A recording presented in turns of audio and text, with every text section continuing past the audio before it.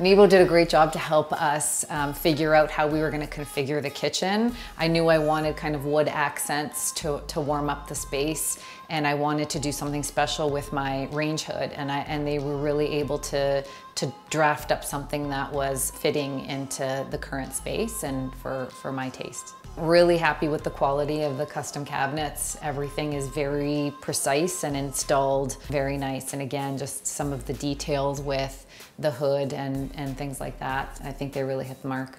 I think just overall, I really like the peninsula area and they were able to get as much storage as, as I needed in the space that I have. Compared to my previous kitchen, this is a 10 for sure.